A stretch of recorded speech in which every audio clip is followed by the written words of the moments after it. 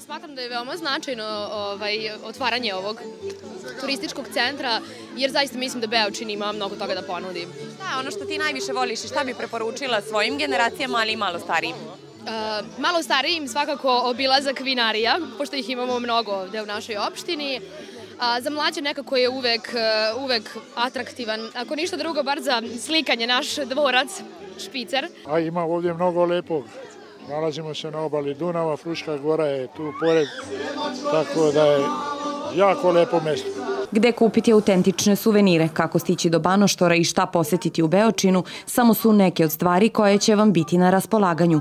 Muzikom i svečanom atmosferom i prisustvom Beočinaca otvoren je novi objekat, turistička infokućica, čiji je cilj da bude sabirna tačka, mesto na kojem će biti predstavljene domaće radinosti lokalnih proizvođača, kao i ponuda smeštajnih kapaciteta.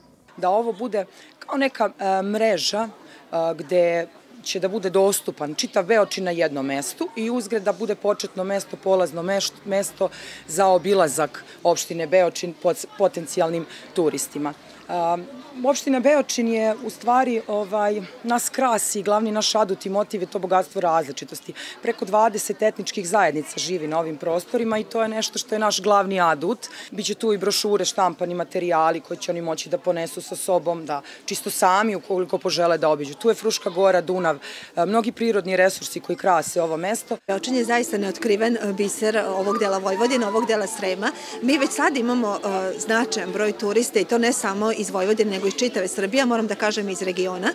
A naša želja negde da ovim infocentrom objedinimo tu turističku ponudu Beočinske opštine. Pokušavamo malo u ovoj našoj opštini, maloj, ali i bogatoj, da dignemo, da dignemo turizam na neki veći nivo. Eto, mi smo mladi ljudi, orni, željni, da naš Beočin dostigne neki nivo.